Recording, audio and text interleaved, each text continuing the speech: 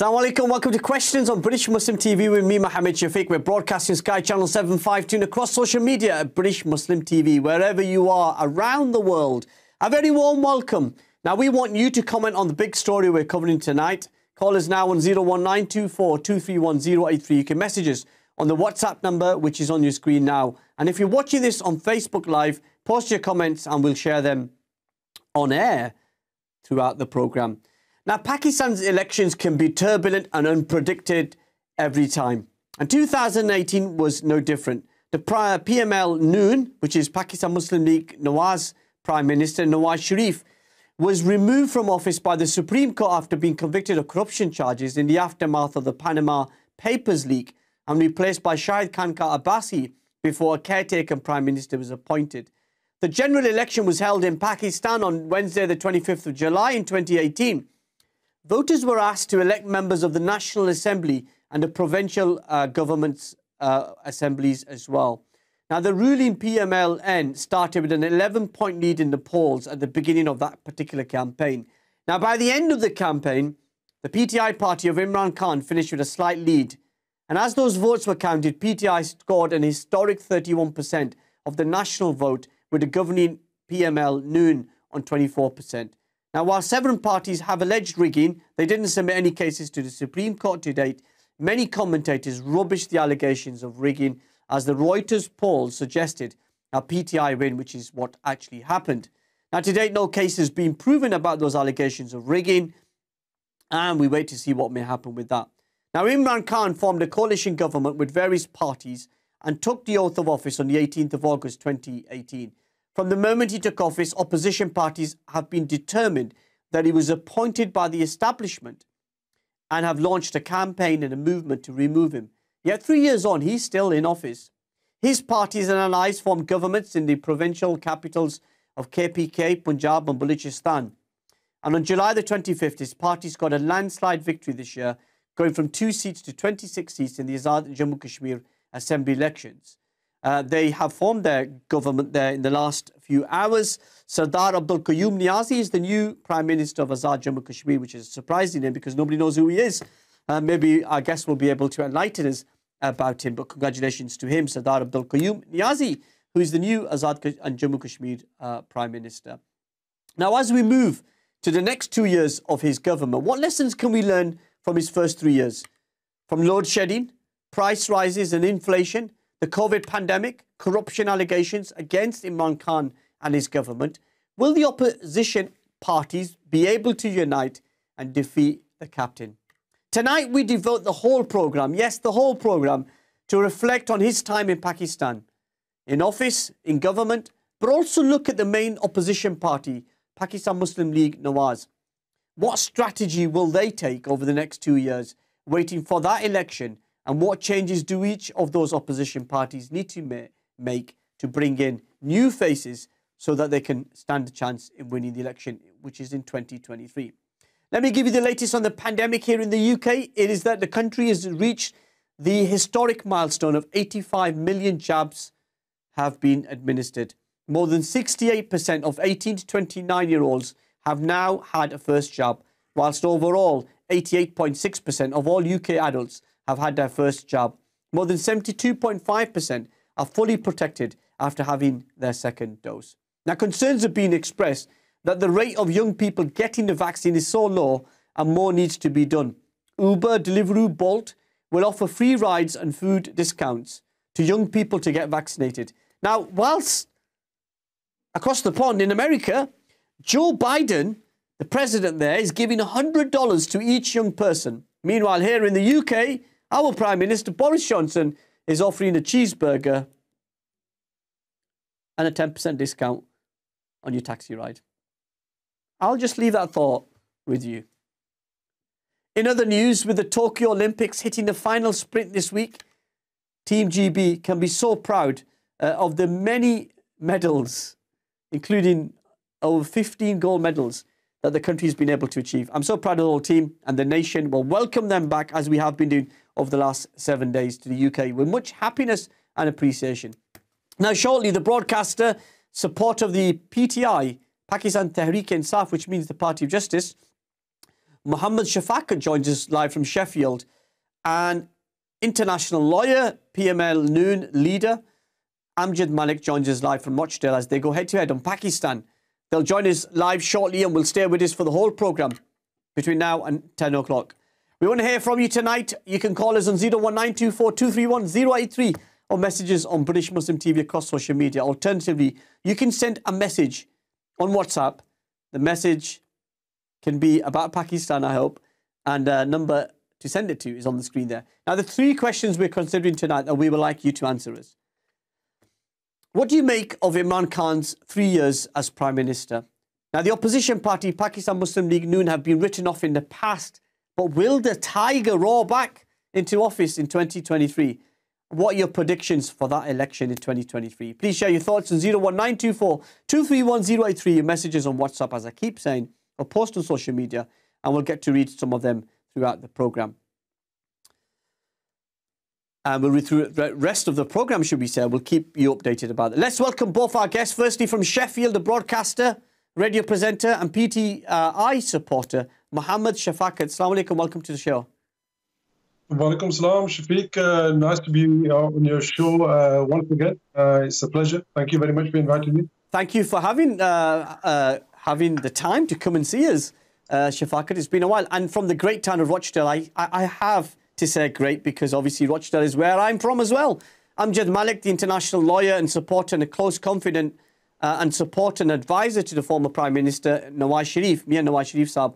Um, and he was recently appointed as the chief coordinator of PML uh, Noon International Affairs. Uh, Amjad Malik, Assalamu alaikum and congratulations on your new appointment. Thank you so much for joining us tonight.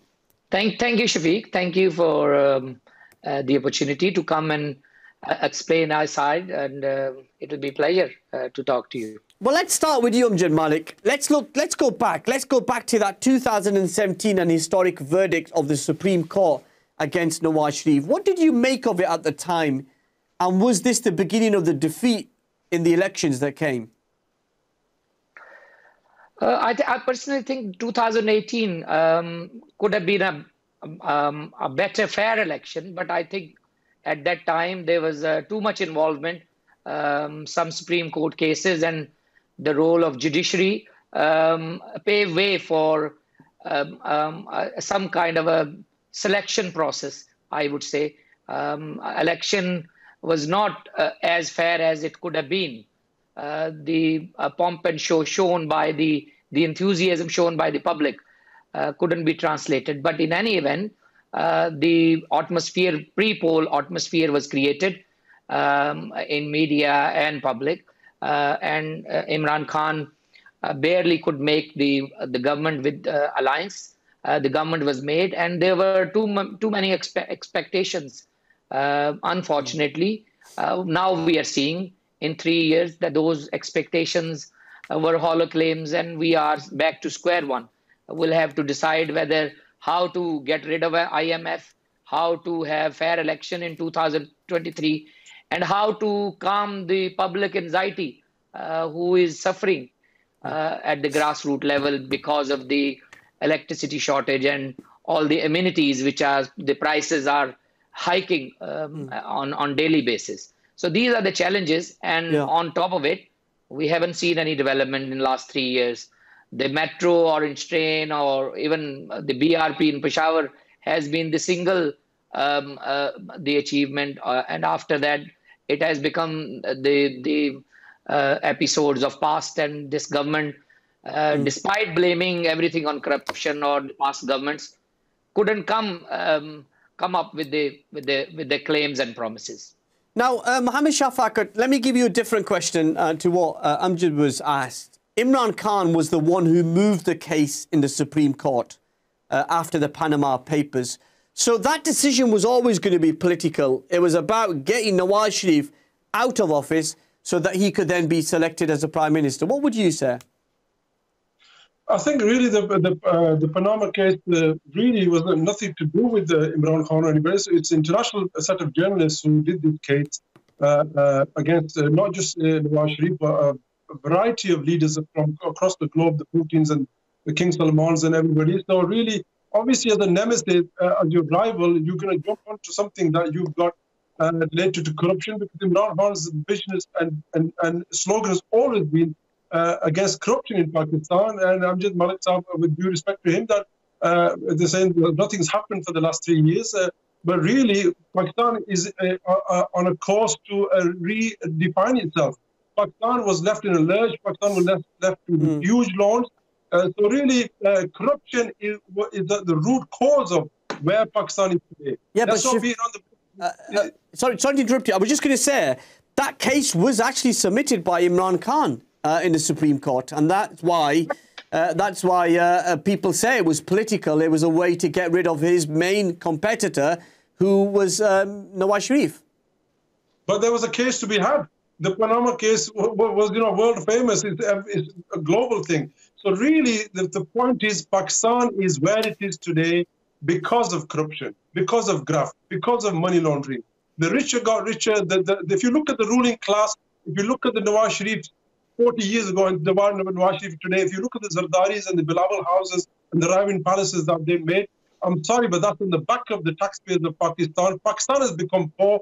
Pakistan is a nuclear state. But despite that, one of the worst economies, we have to keep. Amjad Khan, uh, Amjad uh, Malik Saab said that uh, we go to IMF.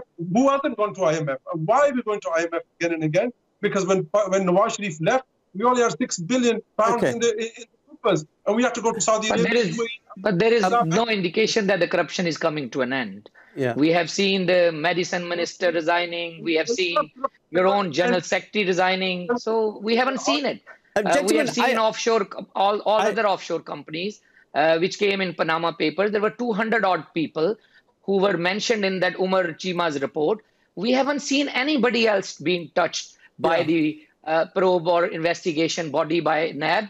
Uh, this and, political witch hunt hasn't taken us anywhere. Now the so, um, government officers are not working. Amjad Malik, let me ask you because I want to take our viewers through a journey. Because yeah, lots, yeah, yeah, lots of, of our viewers um, won't won't be as uh, interested uh, or energized by Pakistan politics than, than, the three of us.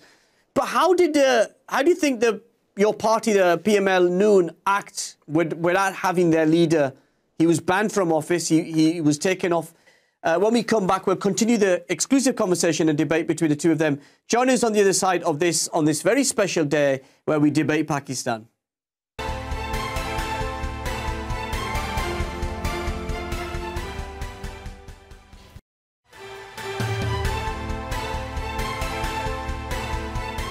Assalamualaikum, welcome back to Questions with me, Mohammed Shafiq, exclusively here on British Muslim TV uh, as Prime Minister, despite being elected by two-thirds uh, majority uh, in a landslide victory in 2013. He was then able to stand Shafiq, from office. Yeah, Shafiq, um, it's a very relevant question. Um, how, how did he history, operate? Uh, if, if you look at the history uh, from uh, Fatima Jinnah or Liaquat Ali Khan to modern day, going through the Bhuttos, uh, it was not an easy um, journey. Uh, any democratic party, any democratic leader in Pakistan uh, had to struggle, had to fight. Uh, and and uh, it is not easy to fight for the democracy and civilian right completely. Pakistan is, not Great Britain. And uh, there is a, a, you'll have to look at the holistic approach, the, the inherent problems between civil and military regimes um, um, the young history of 70 odd years, um, most of the time um, have been like three or four martial laws uh, by, by the military and then around by 16, 17 prime ministers. Nobody could complete that tenure of five years. Uh, only few prime minister who completed their tenure were uh, uh, the, the prime minister who were working under the shadow of uh, a military ruler or military was uh, shadowing that prime minister. So we'll have we'll have to keep in mind that any civilian leader who will talk about uh, civilian rule or respect for vote or fiscal discipline or uh, accountability of budget or hmm. defense mm. budget or talk about education or talk about internet media uh, progression going to public uh, like Shafaqat Saab has mentioned talking about corruption uh, or or or bringing accountability to the core uh, departments so uh, it will not so be the, easy. So we are easy. also facing the same problems uh, without Prime Minister Nawaz Sharif, who is deposed now and he is in Britain, but still taking guidance uh, and his wisdom and from his experience, his younger brother Shehbaz Sharif is uh, holding the reign as leader of the opposition and trying his best to bridge the gap w- between. Uh, there, there has Okay. been a huge gap and, and trust deficit. So he's trying his best to bring them all on, Right. on one page and try to move forward so that we can have a fair election in 2023. Yeah. So, but your party did suffer by not having your leader being able Of course, to uh, to lead any party campaign. would suffer. Yeah. Any party would suffer if you take out his leader uh, without completing his tenure. And um, um, I would like to mention that Panama was not the root cause of his ouster. He was ousted bec- not because of any judgment of by the court of law, but because of not declaring Okay. um, uh, uh, Uh, uh, uh, uh, employment of his son. So let's go to you, Mami Shafaqat. How, how do you assess that time, the political environment in which those elections and the campaign was about to begin? Wave Imran popularity as a former spokesperson, his, his uh, credibility, people in Pakistan, even opposition, they all admitted they know this man is honest and he's not corrupt and he's not corruptible himself. That's not talking about PTI, I'm talking about the individual. Imran Khan's public popularity graph was very high uh, in 2013. I was there in the election. Probably should have won the election as well, and things didn't go his way. Then he, he was very patient, uh, and then he bided his time. He, he resonates with the public, he resonates with the ordinary Pakistanis when he talks about corruption, when he talks about how the rich are rich and how people uh, uh, have offshore accounts and have uh, uh, lifestyles in London and Dubai. And whenever something something goes wrong, they, they, uh, they're on the next plane out to Pakistan. I'm sorry, if you are a leader like Imran Khan, which I respect, that this is the reason I back this man, and I will back him till, uh, inshallah, that he's on the right path and he does no, no corruption. I will always back him for the sole reason that he has given a dream to the people of Pakistan. He's took us back to the uh, Quaid-e-Azam's vision, Allama Iqbal's dream, and he's promised this that he will try to deliver. Yes, three years is uh, performance is not brilliant, but you, you cannot fix something, especially look, we're not talking about last 70 years. We always say Pakistan has been in a mess 70 years. It's not really 70 years, it's last 40 years. Since the 80s, when Nawaz Sharif, etc., came first time, and then Benazir, and then we've had martial laws. I'm not, I used to be thinking, oh, well, it doesn't matter if Musharraf and these guys come into power, but now I'm a staunch uh, uh, supporter of a democratic process in Pakistan and no, uh, no military takeovers again, because that has damaged Pakistan more than I will agree with Amjad Malik Saab on this issue uh, because uh, we do not want any dictatorship ever again. But Imran Khan's popularity, Imran Khan's vision, Imran Khan's honesty, integrity was what started the campaign in 2018, and he, he, he that's what made him win the election well. Because no doubt, no doubt, this man has awoken not just people from PTI, not from the and especially middle class in Pakistan. The middle class in Pakistan had no interest in politics in Pakistan, uh, but the, the people in living in the, the gated communities they started voting and they came out to vote back this Tabdili. And that's the reason because they want to change in Pakistan. People are fed up with the bureaucracy, fed up with the law, uh, law situation, uh, uh, and the Qabza groups and the mafias, the sugar, the every genie mafia, poultry mafia, everybody's fed up. But one man cannot do it. As a nation, as a people, we have a responsibility. We're not. That's the biggest problem Mm. In Pakistan. I don't blame the leadership as much as the public because we are just following uh, uh, anybody for uh, family and family. No, we're not. We, uh, it happens in India, the Gandhis. It happens in Pakistan, Yeah. the Sharifs and the Bhuttos, and in Bangladesh as well. Why? On one side, you're saying we're doc- democracies, then you are trying to uh, groom their children to rule over us. I'm sorry, my generation will not accept that. Okay, so thinking back to that campaign, uh, Amjad, uh, 2018, who did you think was going to win that election? Well, I think there was indications that we, uh, our leadership was hunted down. Um, a lot of our uh, contenders or candidates were um, uh, following them, and then um, right near the election, uh, you've seen the Prime Minister Nawaz Sharif at that time went back and with, with his daughter, uh, but they were arrested and they were tried. But still, because they had um, experienced team, they had idea, they had a slogan, Bayaniya, which is called, uh, and they had some results uh, of their uh, um, five-year government. Um, they finished electricity brought the projects and kept the amenities, uh, the sugar, wheat prices low. So they thought that even if the fair chance is given to the public and they may come up uh, with with the uh, uh, uh the formula to run or form the government, but uh, um, with the the witch hunt they faced,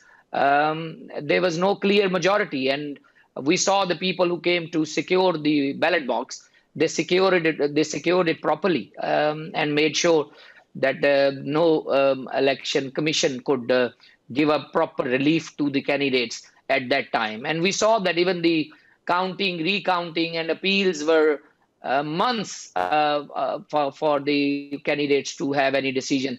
And by that time uh, the government was formed. So i would say the mm. distrust which developed with the panama case and jit and the hearing it lingered on, um, and that went to uh, an advantage to the selected regime they built, and uh, the government was formed with an alliance uh, with a very thin majority.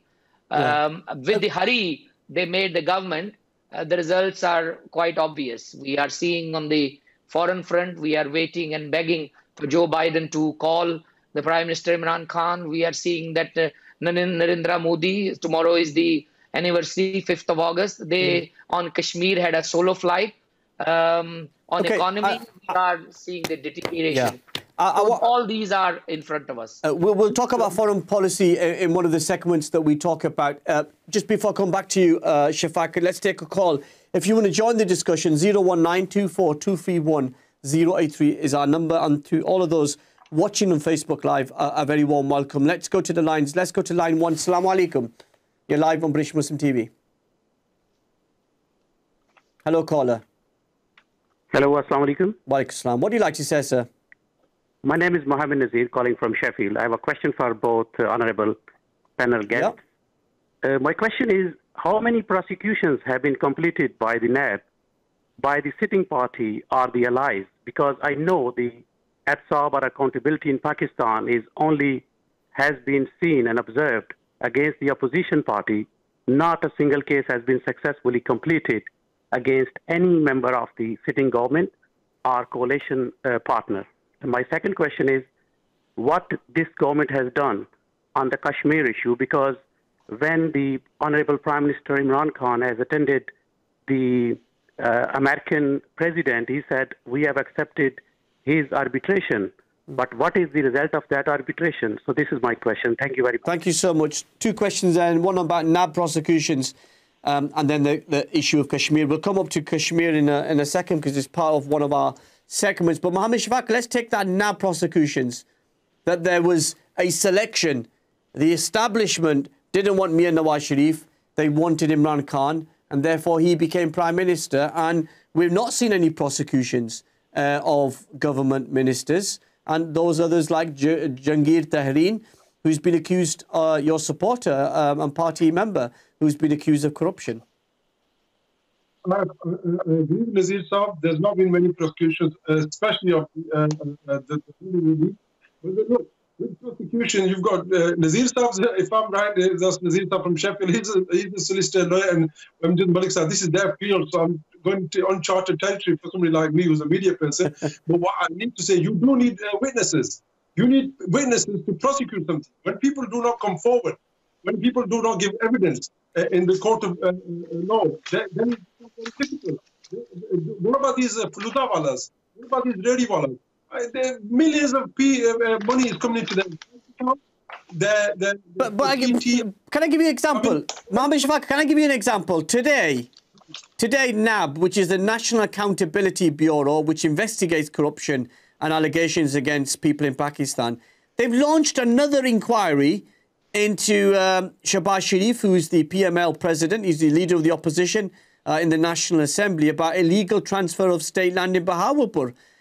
But we see this on a daily basis. We see opposition politicians who are accused of corruption, yet government ministers who don't have um, um, any investigations into them. So it just seems to be a bit of a biased nab here. Would you agree?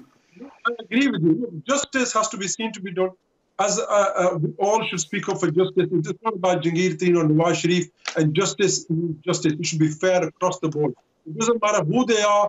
Pakistan needs justice. This is the this is the root cause of Pakistan's problem today because we selective justice and justice denied is justice delayed. We need all of us. The problem with parties, uh, members of each party, Noon League or PTI or People Party, we always speak against the opposition or the government, but we never say, okay, let's do it across the board. The, the Jahangir Tareen has got serious accusations against him. So has Nawaz Sharif, so has uh, the Sharif family. They need to go back to Pakistan. So Nawaz Sharif should not be sitting in the UK. The so-called lion of Pakistan should be, he came here for four weeks for medical treatment, hardly seen him in a hospital. He needs to go back to Pakistan. He's ex-prime minister of Pakistan. We'll take a very quick break. We'll continue the discussions and we'll also take your calls. Join us on the other side of these very important messages.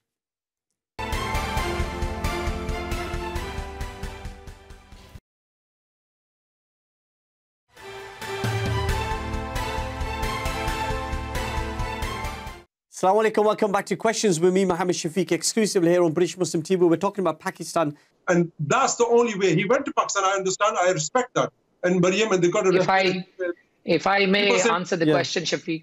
Yeah, I mean, the, the, the, accusation against I, your party. Uh, I, I, uh, let, think let me, we're deviating let from. Let, let me ask question. you. Yeah, but let, has, let me just ask you the question uh, as well, very simply, yeah. sir.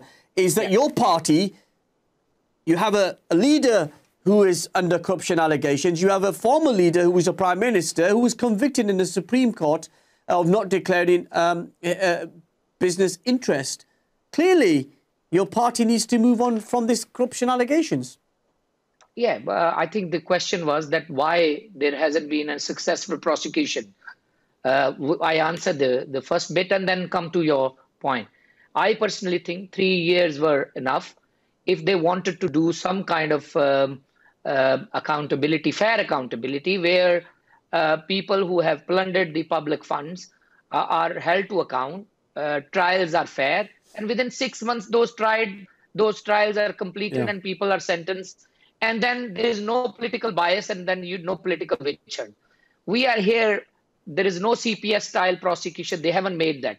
I mean, you were talking about that sense that there's a victimization going on here, whether it's the People's Party, whether it's Maulana Fazl Rahman, whether it's the Your Party, uh, that NAB, the National Accountability Bureau, are deliberately targeting key figures in your party to take them out because they're threatened by them uh, because of their political experience uh, and stature.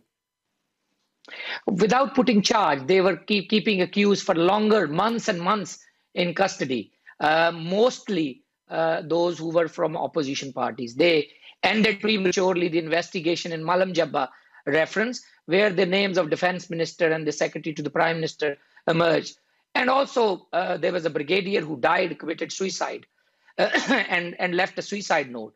Uh, Supreme Court twice in major bail applications criticized uh, the tactics used by NAB. So we can't really have fair accountability when NAB is becoming an executive tool and uh, ministers are parading and naming and shaming the political opponents. And uh, next day NAB, NAB is inviting them in for investigations and keeping them under the radar uh, giving carte blanche to the government ministers. Coming back to your point nawaz sharif's uh, prime minister nawaz sharif he came with the permission of the courts and the government after they formed a commission that his uh, health was deteriorating in the uh, punjab prisons. I personally think at that time they were not able to afford prime minister getting popularity in the punjab prisons. So they technically it was a quid pro quo that they let him go out uh, for his medical treatment. And they rather that he stays in london out of their uh, way mm. so that they can achieve some mileage or uh, uh, uh political achievements. Uh, i'm afraid they couldn't make use of those 3 years. And as we are coming nearer to the um, next elections, uh, two year down the line. Yeah. Now they are again uh, uh using the same rhetoric. Now the election will be on the performance. Performance from three 2013 to 2018 of PMLN government. Mm. Prior to that, PPP government and the current government, yeah. and you'll have to prove that uh, which government was effective and okay. Uh, what they have the effects on the public life, and they, and they, you can't really have five year government and then keep running on it and saying, oh, the government behind, before us were corrupt, and that is why we couldn't achieve those targets on foreign policy, on economy, on administration, okay. on defense, and on amenities and arm the co- common public's life. Okay. So I would say that the next election will be on performance. Okay, Mohammed Shafaka, let me ask you this. The irony is that Imran Khan uh, stood as a change candidate. He was changed against the, the big two parties, the People's Party and the uh, PMLN. But the reality is when he became Prime Minister, the people that he's sitting in Parliament with are rejects from the other two parties. They're runaways from other parties, what we call in Urdu lote wale or uh, parties. Um, so it, it, was the establishment, it was the same people who were under Musharraf's time, now in office again, uh, sitting with Imran Khan, and that's not change, is it? Uh, uh look, the, this is a this is a problem. Pakistan, the, the, the establishment is, is the kingmaker in Pakistan. Nobody can deny that. They have a huge role in Pakistan. They've had it for, for years. Today, when Nawaz Sharif and Noon League people talk about the establishment as a, a, a pariah, I'm sorry, but they are the creation of the establishment. They are the creation of General Jilani and General Ziaul And today they are becoming the champions of democracy. They talk about board coizzat. They don't have democracy in their own party, I'm afraid. A lot of these parties don't see it that way. The point is that, look, Pakistan needs a sea change. How are we going to change that? We need to stop creating monsters. You can blame all these people coming, the electables, the so-called electables that came into PTI. That's fair enough. Because the rich ruling elite, if you go across any my area from Kohota, these the same faces have been ruling for four, my lifetime. I went to the same faces. Now we're seeing their children. A few changes here and there. Why is it that we're not getting out of that? Not because the public, me, you, and your blogs, we are the problem. We are tribalistic people. Are we really democratic? Do we look at things through democracy, or do we see it through clans, through family, through peer pressure? That's how we. That's how our democracy is running. Until that mm. we will keep having these so-called electables who jump from one party, People Party, to uh, League, Noon League to PTI now. A lot of these people, definitely, you're right. I agree with you. They're from Musharraf's regime.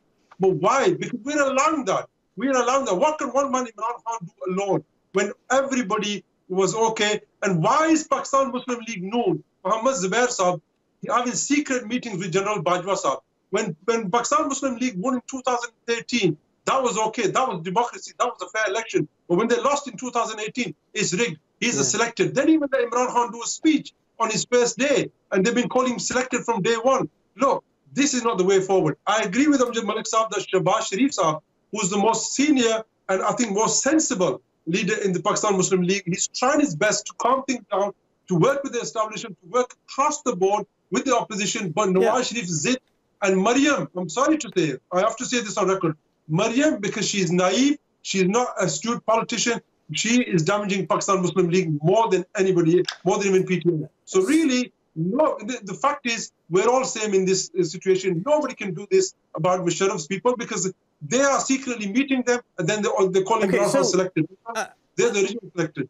Um, Jamanik, address that point about the division in your party now, what seems between Shehbaz Sharif and Nawaz Sharif. Shehbaz Sharif wanting to work with the establishment to try to get some sort of positive relationship, and Nawaz Sharif calling out the corruption and alleged treatment uh, he suffered at the hands of this so-called establishment? I, I, think there are always a difference of opinion in any party. Um, there could be a different line of action adopted, but in the end, the party leadership decide in consultation with all the seniors.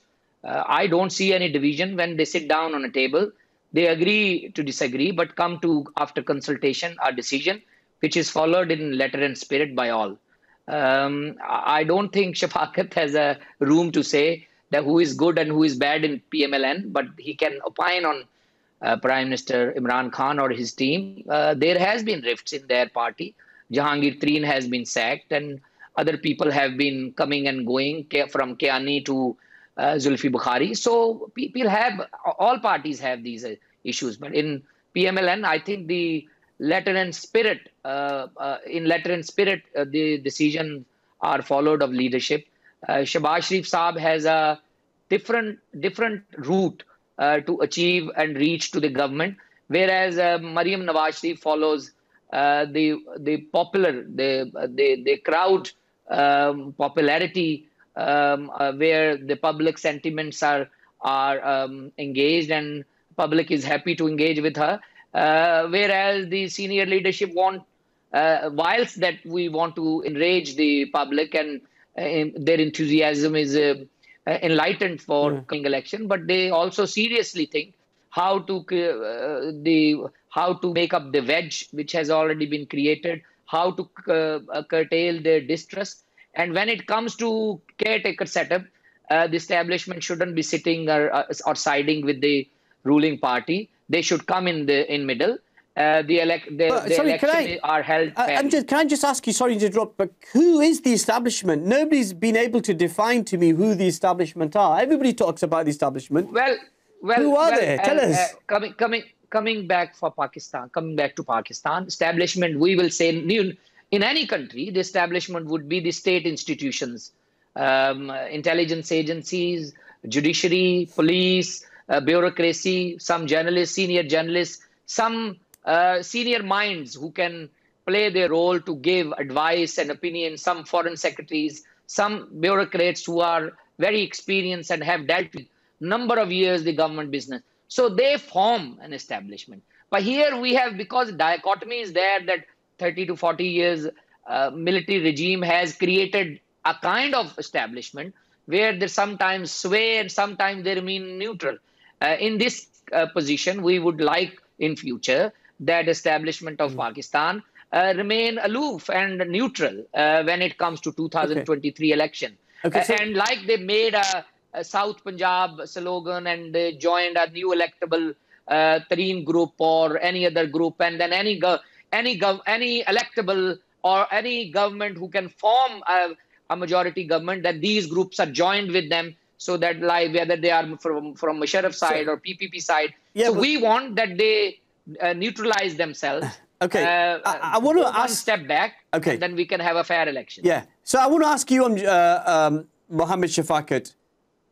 In 2013, your party alleged corruption, rigging, yet you accepted a result in 2020. What changed between 2013 and 2020 for you to accept the same system that you allege was corrupt and rigging the election against you was now rigging the system for you, and you accepted that.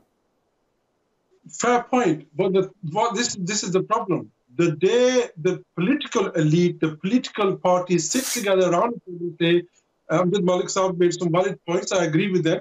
That the day the political parties sit together and say enough is enough, and establishment stays at the back seat and say, listen, stay aloof from the elections, only then. But if you can have secret meetings with them, if you're going to meet them uh, uh, behind closed doors and say, please, you know, uh, find a way out for Nawaz Sharif to leave uh, uh, Pakistan and go to UK. He did a deal uh, in time of Musharraf and denied that for 10 years. So now he's doing a deal this way, and it's on record that, you know, he was helped no, no, but it's a typical politi politician. Shafiq, you're not. Shafiq, you're not. You're not a politician. Shafiq, I, I, if you, I must, if let me just ask you this. Let me just ask you this, in, Interestingly, both both of you. Let, let, me say to both of you. They asked for a probe. Let me say both of you, gentlemen. Uh, both of you are giving me politician answers. Both of you are giving me an answer which is basically rather than looking at your own parties, you're attacking the other parties. I'm asking you, if the system was corrupt in 2013 why did you accept the result in 2020? We'll carry on this very interesting debate on Pakistan. Join us on the other side of these very important messages. Assalamu alaikum wa rahmatullahi wa barakatuh.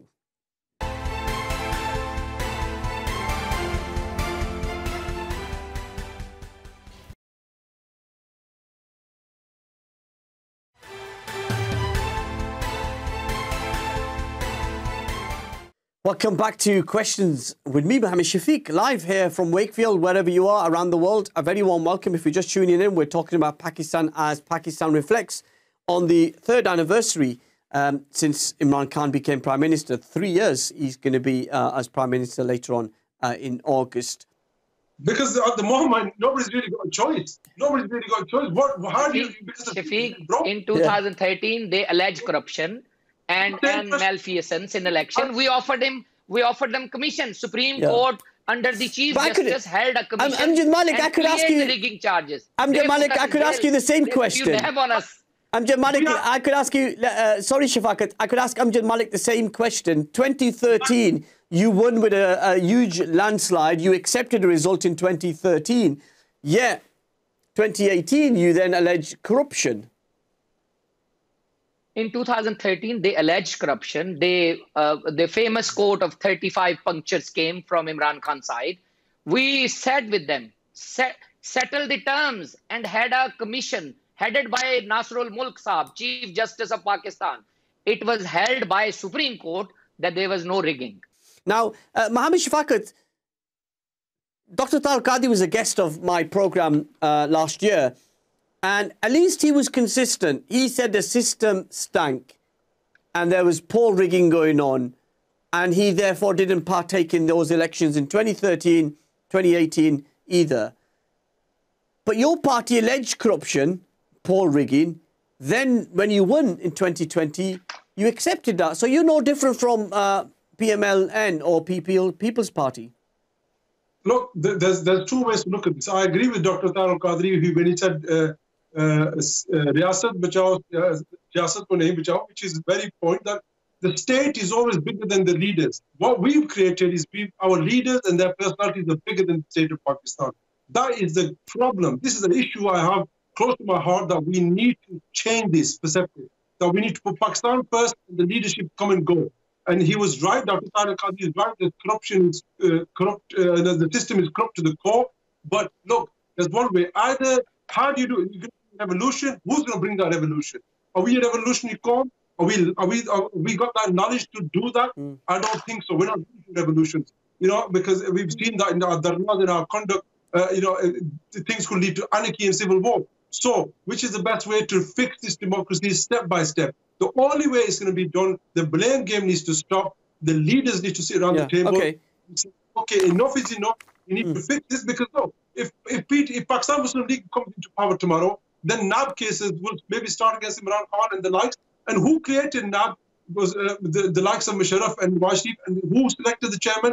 The People Party in Nawaz Sharif. And today NAB is banned because they who who was who persecuted. Zardari, who put him into prison for 11 years. It was the same Nawaz Sharif as Saifur Rahman. So you know what? This is the problem. You know what happens? Uh, uh, uh, the chickens have come home to roost. Your past will always catch up with you. I yeah. Okay. So let me let, let, let me way they treat Pakistan okay. as a commodity. Okay. Let, people, not to these families. Okay, gentlemen, if we can keep your questions briefer, we'll get through more of the questions, please. Amjad Malik, so instead of accepting the result, your party and the others tried to stop the new Prime Minister Imran Khan address Pakistan National Assembly. You heckled him. There was lots of swearing going on in 2018. Are you ashamed of that behaviour of your fellow parliamentarians? I think uh, First of all, the investigations it should continue. Anybody who alleges uh, should be thoroughly investigated, whether it's PTI or People's Party or PMLN. Election Commission should be armed and strengthened. Uh, we learned lessons from 2013 and the Commission's findings, brought in the election reforms and RTS system. You saw in 2018, RTS system was gone. 60, 62, 63 billion rupees investment was gone within a day and we return to the manual submission of the RTS results. Uh, but it should be it should be continuing exercise. At each time, it should be election commission should make a finding and and do. Uh, like you said, the ethics of it. Uh, each prime minister should be uh, allowed to talk to uh, its um, uh, the audience in the in the parliament.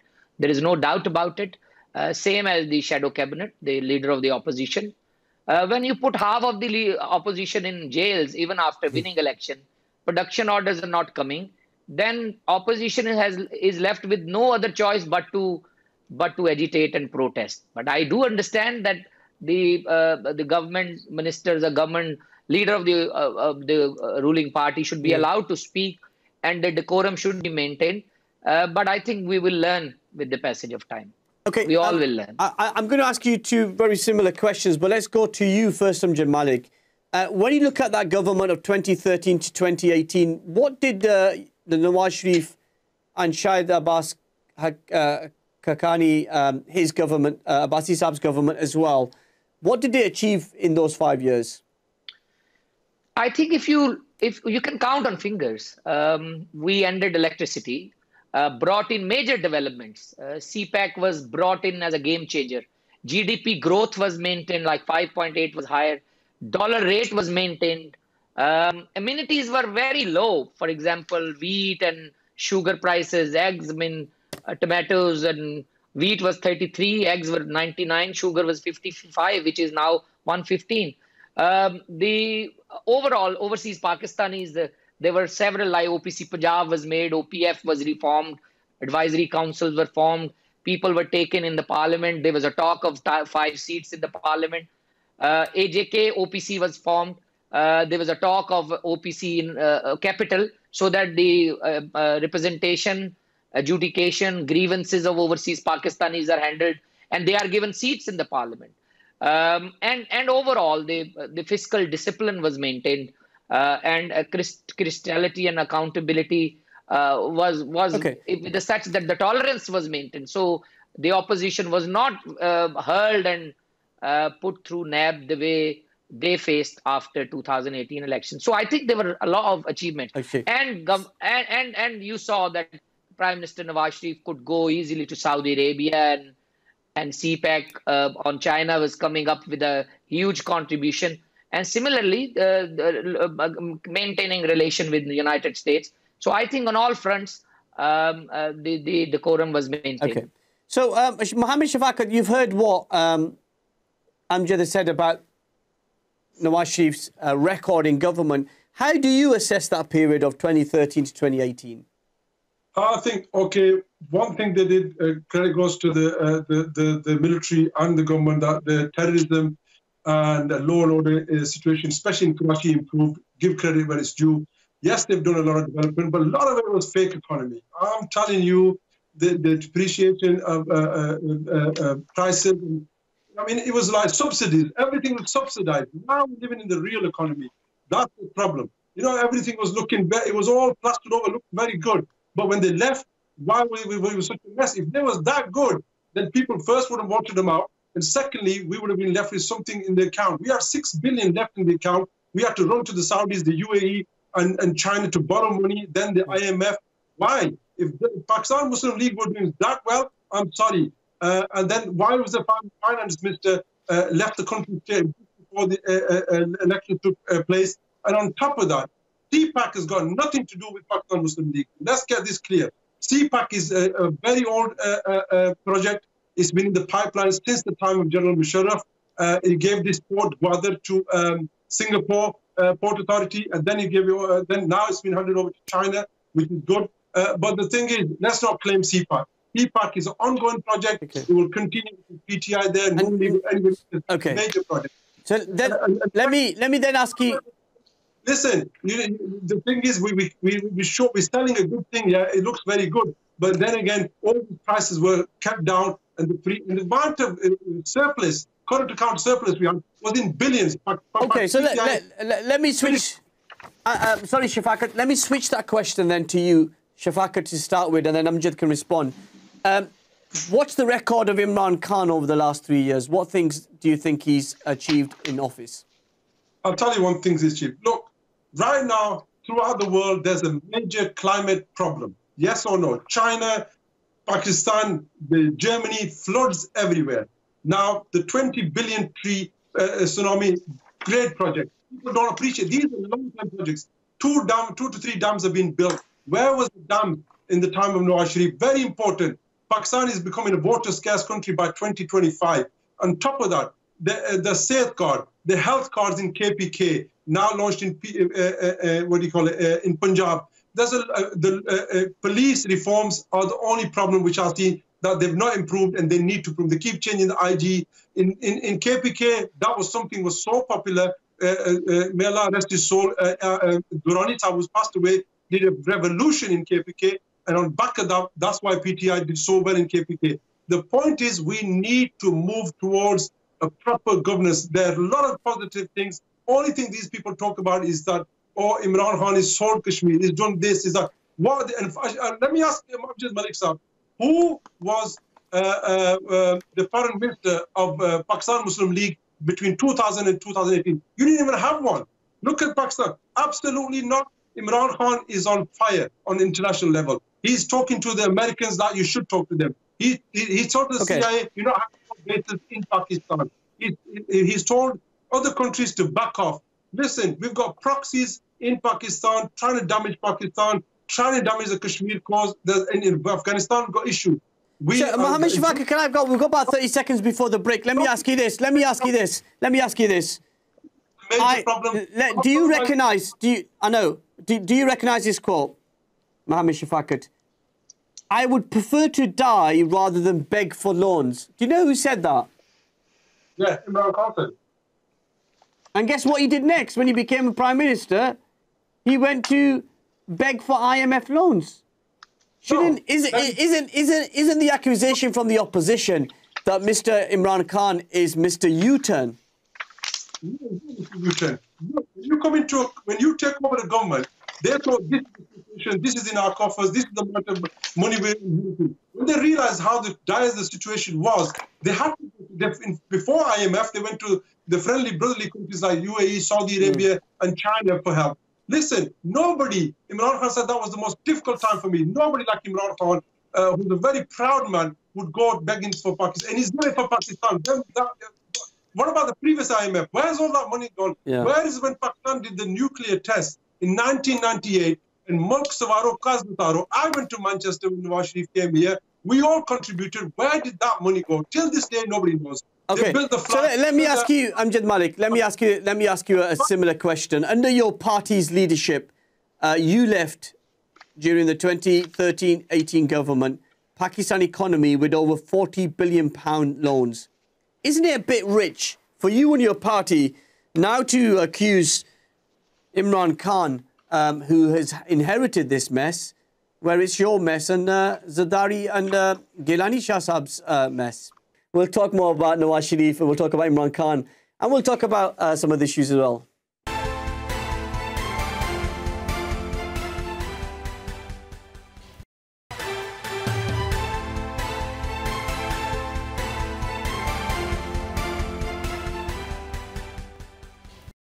Welcome back. Time is flying when you're having fun, particularly when you have Amjad Malik and uh, Mohammed Shafaqat here. Uh, I personally think that um, Imran Khan had no vision. He had no team. He came in hurry.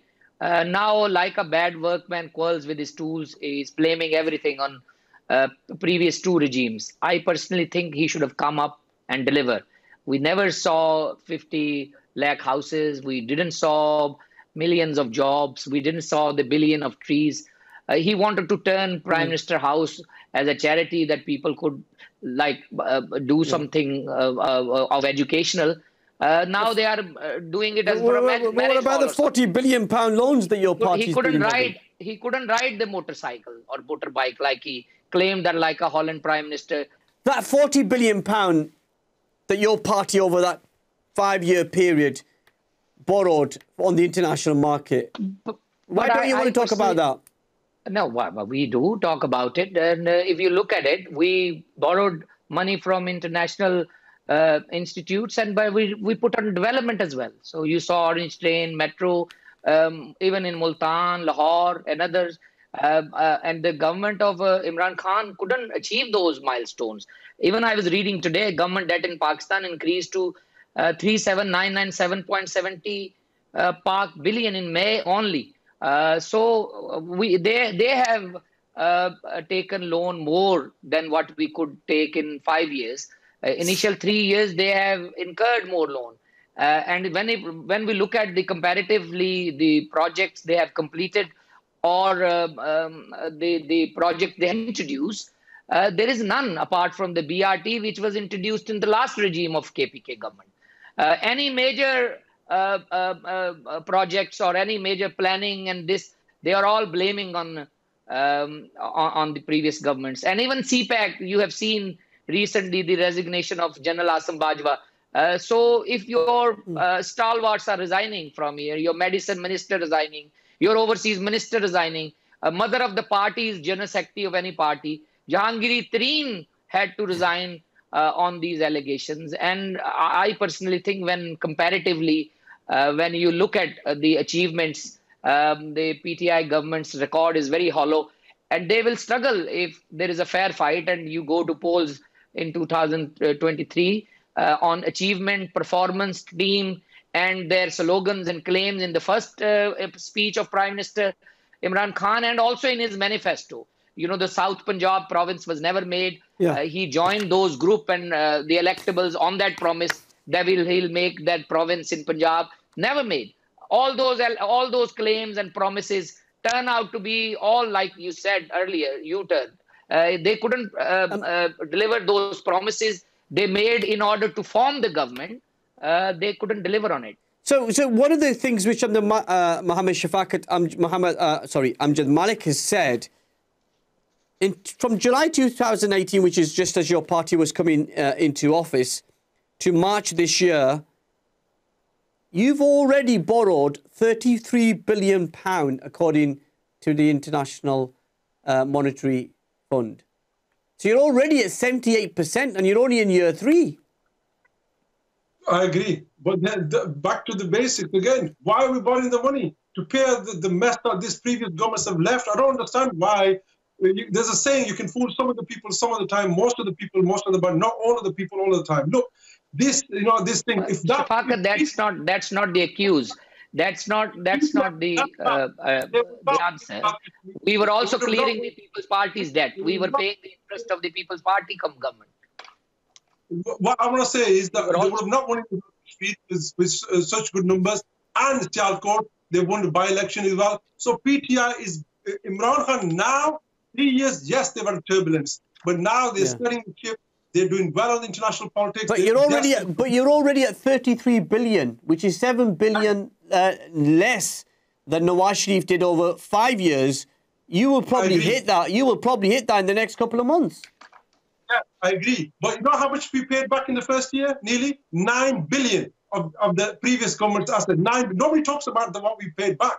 And look at the current uh, uh, account uh, surplus. We brought it down to zero. Look at the debt they left. And they have the But you didn't offer any subsidy. The, the prices and the farmers and all the uh, the industrialists, you didn't offer any subsidy. But the prices are record high. Even after borrowing that much money, even the prices are low and GDP is still not uh, up to the mark. And the dollar, dollar, me, I was looking at today before coming to this program, is 164. The pound is around about 220. So if you are borrowing that much money, throw it on the public so that at least you can.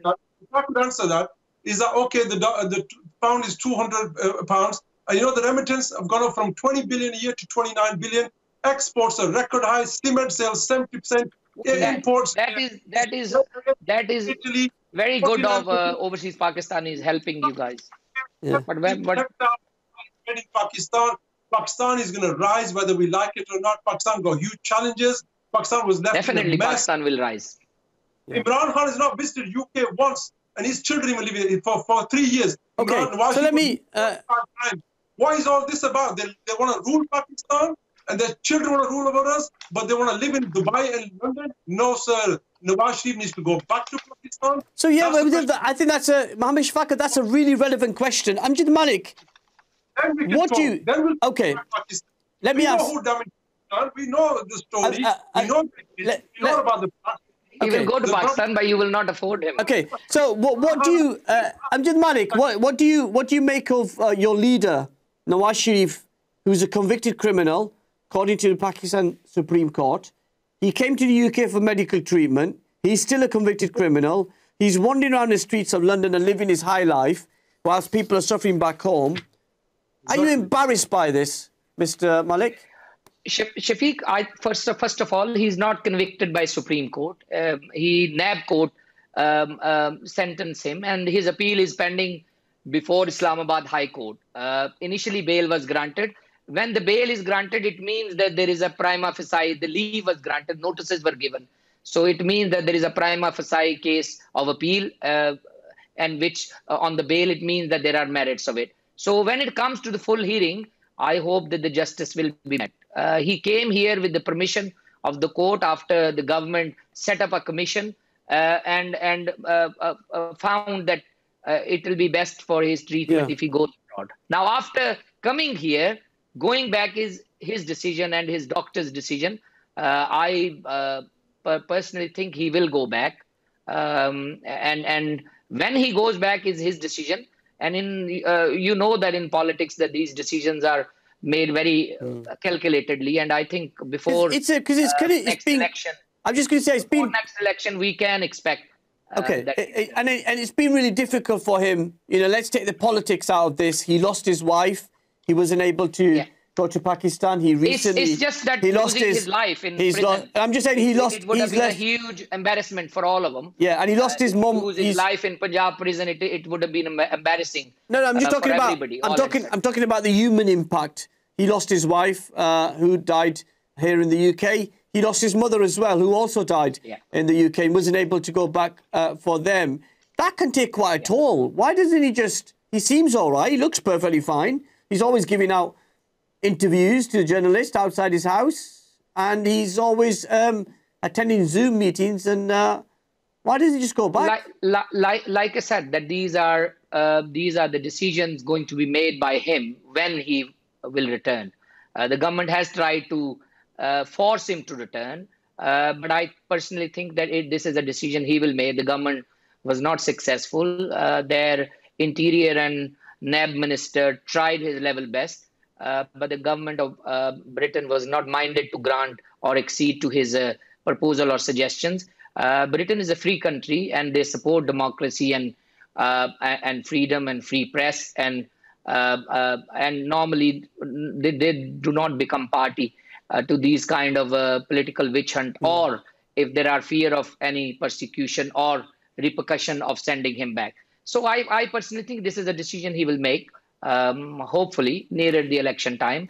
Uh, and definitely he will go back to okay. Pakistan. Um, I want to move on and talk about the Azad Kashmir elections. We saw today a new Prime Minister, Sardar Abdul Qayyum Niazi, um, who is from the border uh, with Jammu, um, being elected as the Prime Minister today in the Assembly. Um, that was, I think, uh, 33 votes he got. Uh, historic moment for him. Mohammed Shafaqat, what do you make of uh, the election campaign in Azad Jammu Kashmir? You're from there, I'm from there. Um, and uh, how much impact will this new face, Sardar Abdul Qayyum, have on the government in Pakistan? Uh, sorry, in Azad Kashmir. Uh, I mean, obviously, it's been a very hostile campaign. And let me just uh, say that I, am not from Azad Kashmir. I'm from Kahuta, Rawalpindi uh, side. but still, I've got a lot of friends there. A lot of my friends are from Azad But your heart's, in, your heart's in Kashmir, we know that. Always, always. And um, uh, inshallah, I'll become more Kashmiri soon when my son gets engaged soon, mashallah. Uh, but the thing, the point is that, know, the campaign was very, very uh, uh, hostile. And I, I, I, wasn't happy with the conduct of Amin Gandapur from PTI, Mariam, and others who went to Kashmir and, and uh, already a very hostile atmosphere because it's very, very highly clan based kind of politics in Azad Kashmir. And, and they, they very, very that kind of conduct. We need to all calm down, cool down, and start talking about the true democracy. We talk about democracy, but there is no real democracy in us. Otherwise, this man who's come forward now, a lot of people think that Sultan Mahmood is very popular. One of his followers are very upset today. But I, I don't know this Sardar uh, uh, Saab, uh, but he, yeah. his name is alias Niazi. He's not really a Niazi. I heard he's a Sardar. But anyway, yeah, uh, there was a there was, there was a good story about that. I was just going to say there was a good story about that. Learning um, Sardar Abdul Qayyum, who was a former prime minister uh, of Azad Kashmir, they both had the same name, and the local authority civil servants were very uh, reluctant to. They were just uh, confusing between the two. So he added Niazi to distinguish between the two. But anyway, uh, let's take a caller. If you want to join us on the discussion, zero one. 924-231-083 and that caller just dropped. Sorry, my friend. Uh, I just didn't want to interrupt our guest. Um, so let me ask you then, Amjad Malik. Uh, in the elections in 2016 in Azad Jammu Kashmir, you stored uh, an historic 33 seats. Yet this year you went down to six. What went wrong apart from poll rigging? But if you look at it, 5 lakhs uh, vote and six seats, and government uh, got 6 lakh vote and 26 seats. Uh, but like I said, I, I wouldn't give uh, um, any, any benefit. I would say that there was a campaign, a very um, uh, enthusiastic campaign where Mariam Nawaz Sharif single-handedly uh, went and um, um, addressed the um, uh, audience, made a mark, We'll take a very quick break. We'll continue the discussions and we'll also take your calls. Join us on the other side of these very important messages.